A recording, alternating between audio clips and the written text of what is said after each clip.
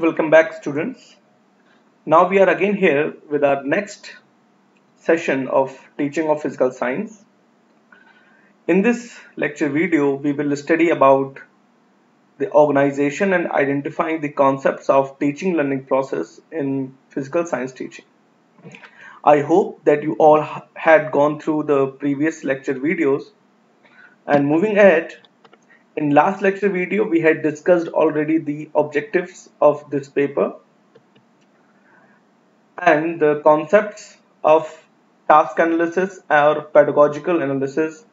And now in this video lecture we will cover up the second part of this unit that is identification and organization of concepts for teaching learning of science. Till here now, as you know, that identification and organization of concepts are two basic concept component and an initial activity for teaching learning. An efficient science teacher should know how best one can identify the organized design and assist in the process of learning experiences under specific conditions and situations to help diverse groups of students. It is very important to understand for a science teacher that before starting any type of science activity or lecture, we should prepare for our whole soul experimental as well as theoretical part. It is very important that while delivering any type of theoretical lecture or theoretical concepts, teacher must demonstrate some experiment related to that theory. Otherwise, that concepts would not be concretely understandable by the students. And that's why the planning is important.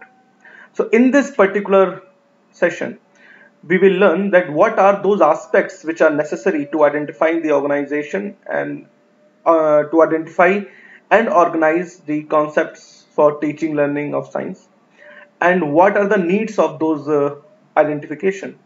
And what are those aspects which are very very importantly affect the teaching learning process during any science lecture in middle school or a primary school? So moving on the factors that need to be considered for organization of the concepts is uh, here it is. So here I used three major factors. Maybe there will be more than six also it may be possible that uh, there are some 7 8 or maybe 10 factors can be possible for affecting the science teaching learning process. But here I use majorly six parts six different factors which are importantly according to me. So number one is students aspect. Whether you are uh, if you are going to teach any type of science lecture theory or practical in any type of group of students. Whether you ever considered that that content is relevant to that student? Whether that content will be beneficial for that student? Whether the content uh, whether the content will be useful for the life of the student in the present time in which he is? So according to me that students aspect is one of the biggest factor that need to be considered for organization of the concepts of teaching learning process. Our every activity, whether we are planning or any lesson, whether we are planning any type of activity, whether we are planning any type of demonstration, it is always based on the understanding and concepts level of student. So first is the student consideration is most important and one should understand that what are the needs of students. Now the second one is content and process consideration. So content and process consideration which means that uh, suppose you are going to teach the human food or food in any type of middle school standard. So what will be your process what will be your next step? What will be your process? Whether you are going to teach all the type of variants of food in a single day? Whether you are going to teach the variants of food in different days? Or maybe you divide them on the basis of their minerals vitamins carbohydrate fats? So basically the content and process consideration means what steps you are using to deliver your content and that is the most important consideration after the student. So here it is. Now the third one is time. Time management is very important. Because when you go into the classroom a standard lecture limit is 30 to 35 minutes 30 to 35 minutes is a standard lecture of any science teacher for any science teacher so whether according to your content consideration you had divided your content in three lectures and it is possible to complete one content or one topic of that major one into the single lecture. So time management is very necessary. If you are not going to manage your time, then definitely it may be possible that uh, there will be over time you have to done and in that case your content could not be delivered in a complete manner to the student. So time management is also very necessary for the completion of curriculum and syllabus. Because as a teacher, in the present scenario, if I talk to a quite practical aspect, then there is a competition is going to be in between the students and the schools and the teachers that whose result will be the best. So it is important that your curriculum, your syllabus should complete in the given time interval. For that, you have to divide your chapters. You have to divide your chapters into different topics. And you have to divide your topics into different subtopics. And even different subtopics can be divided further. But whole solely on a comprised manner the whole syllabus must be complete in the given time interval and with the quantized values of number of lectures so you have to consider the time limit of your lecture while you are going to deliver any type of content. And that's why the third consideration time is important. That time management is very necessary for any teacher. So that is one, this is two, this is three. And now the fourth one is resources. Resources consideration is also very neat to be considered while we are going to teach any type of content, we must develop our every type of resource. Either it may be print material, either it will be any type of object, teaching learning material. It may be a, any model, it may be any type of demonstration, it may be any type of instrument. But basically you have to enrich your resources. Because if you have resourceful, if you are resourceful, if you are a resourceful science teacher, then definitely it will impact your students very much. They will facilitate it towards yourself. They will uh, learn so much things from you. So that's why the resources are the most important consideration. One of the important consideration in the organization and identifying the teaching learning needs. Now the fifth one is teacher consideration. I use this particular uh, factor to make you understand that uh, how teacher is important for a science teaching process. First, that is knowledge,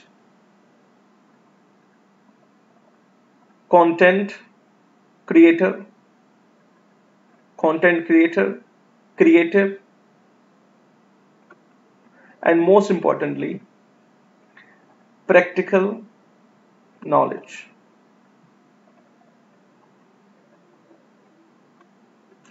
These are basic four specialities which must be uh, which must a teacher have if he is going to teach uh, science in any type of middle or primary school level. So as a teacher when you are going to teach any type of science subject or it maybe it may be bio it may be physics or chemistry even uh, mathematics also. Mathematics also a kind of science. So basically you have to enrich yourself by your knowledge by your creativity, by your uh, practical knowledge, and most importantly, you have to uh, develop a skill to connect the previous knowledge of student with the topic. If a teacher is able to connect the previous knowledge with the current content, then definitely the student will feel the maximum outcome from the teacher and you can get the maximum feedback from the students. So that is the most important part of the identifying the factors of consideration for organization of the concepts of teaching learning process. So this is the fifth one which is most important and the sixth one is here that is technical aspects. Uh, in present scenario as you know that uh, information communication technology and scientific equipments laboratories and their different softwares hardwares are present to enrich your content to enrich your class so technical aspects are also very important. If any school or a teacher is able to develop the technical uh, support technical assistance then definitely they should.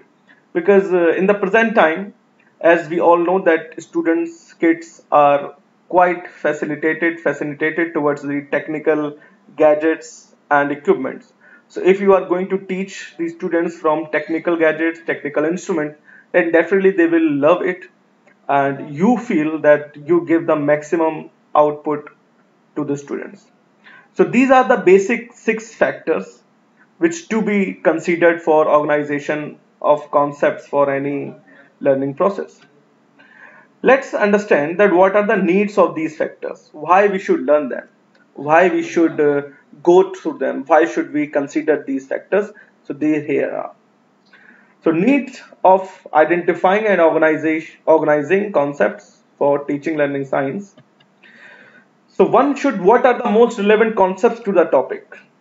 What are the most important relevant concepts of the topic? That's why we used to develop any type of factor and identify the factor. Next one is what student need to know about particular topic. Third, what are the misconceptions and naive concepts student might have and their way of removal. Yes, it is the most important thing for a science teacher.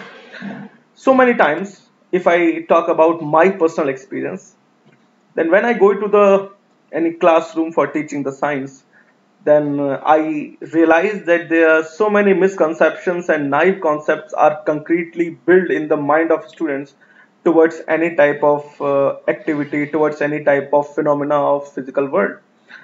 So as a teacher, it's your responsibility to remove that misconception and naive concepts. So that's why we are going to identify the factors and that's why we planned our teaching learning process. What misconceptions and naive concepts might arise during the teaching learning and how will these be tackled? It may be possible that while you are teaching, when you are teaching in the classroom, then because of your false declaration and because of your some uh, misword or wrong pronunciation, a student can understand the misconception or, or, or may develop any type of naive concept so it's also your responsibility to tackle that one now the next one is what will you do to ensure that your student understand the concepts? And what are the learning indicators that can show that students have meaningfully understood the relevant concepts of the process? So these are six questions which will uh, which give you the if you are planned your teaching learning process well then you can easily get the answers of these six major problematic questions during any type of lecture so as in the previous lecture we had already discussed about the pedagogical analysis and task analysis which is quite related to this one. In that lecture we had already discussed that task analysis is something to create your task in a certain steps that may enable you to put less effort but to get maximum output. And that's what we are talking about here. So as a teacher it is very necessary to understand these six considerations, these six factors which will affect your teaching learning process. If you understand these six factors quite good, then definitely you will improve your teaching skills also and teaching methods also and student will love it. So I hope that uh, this video should wrap up here. In next lecture video, we will come with the principles of identifying the concepts and teaching learning process. So till then, stay home, stay safe. Thank you learners.